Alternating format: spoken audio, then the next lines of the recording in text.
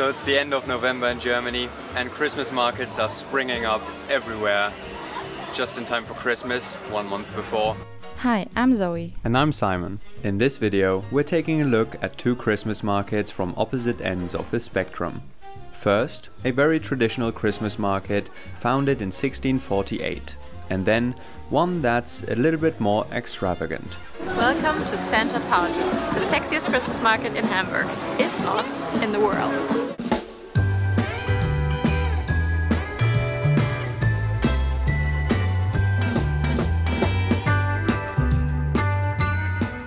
So the first thing we got here are these roasted and caramelized almonds and if you walk past these stalls you basically can smell them way before you see them and you just can't walk past it. So this is one of my favorite Christmas market snacks. They also come in different variations so you can also have cashews or different kinds of nuts and then also different flavors. For example they had Nutella which also sounded great but the roasted and caramelized almonds are just the classic. So.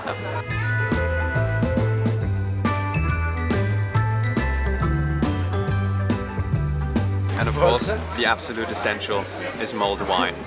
Pretty much every stall sells it here, probably because there's a very high margin on this.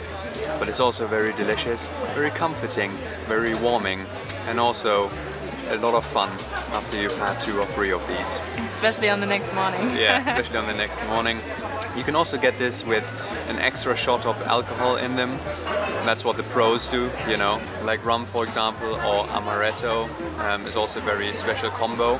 And then mulled wine is only the beginning. You can also get um, hot chocolate, hot chocolate with a shot of alcohol, apple wine, pretty much any fruit that you uh, want basically.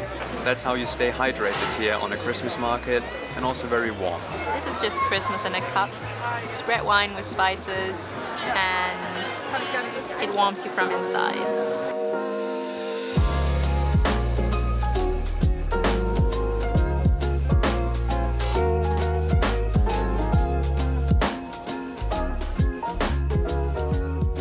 Another real classic are these Lard pastries. All over Germany they're called Schmalzgebäck and especially here in Lübeck they're called Mutzen and they're just really sweet and doughy, yeasty pastries and they're topped with powdered sugar which is really good. And the problem with them is you will always have to watch your jacket eating them because you always cover yourself in powdered sugar but it's fine, it's worth it. Just buy a new jacket. And just a tip is to um, only buy a small portion because otherwise you will eat whatever portion you get like immediately. This, yeah, also this is the, the children's portion and it's, it's quite a lot.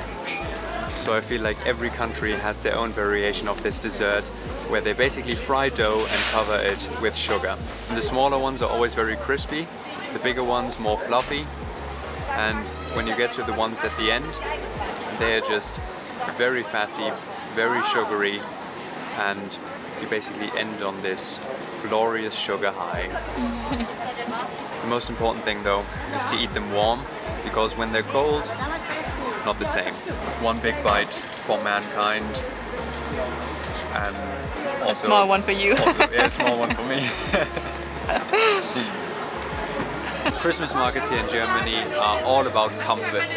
Comfort food and the comfort of having a warm mug of mulled wine with you for the whole evening because it's very chilly and you just need to have something to warm you up a little.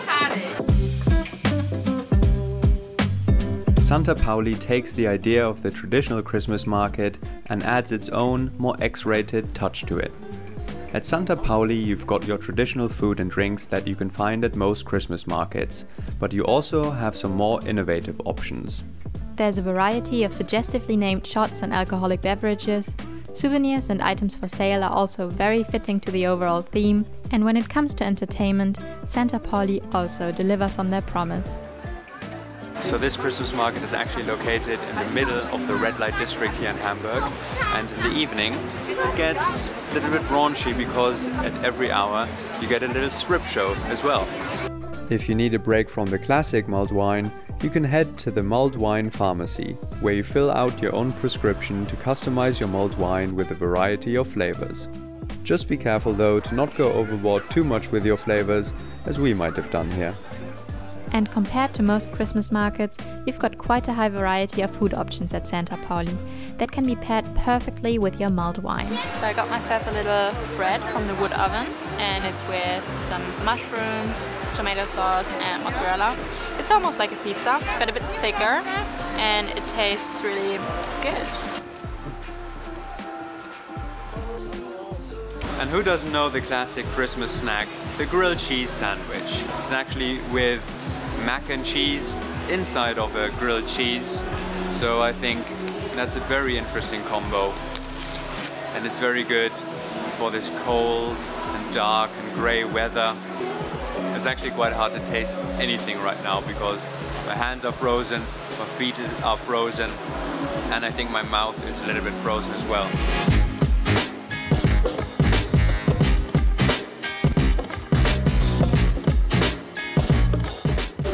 Got myself a little unicorn mulled wine and it has a lot of glitter in it. I hope it tastes alright and not too artificial. it looks good.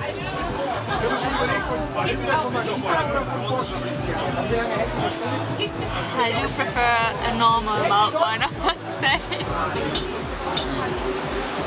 With a nice and subtle hint of unicorn.